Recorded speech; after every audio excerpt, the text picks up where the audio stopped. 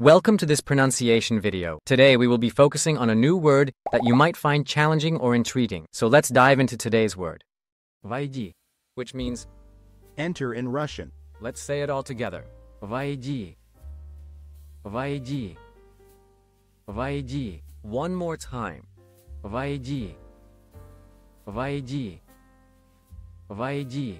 Thank you for joining us on this adventure in pronunciation. Remember, language is a journey, not a destination. Keep exploring, experimenting, and expanding your linguistic horizons. We'll see you next time.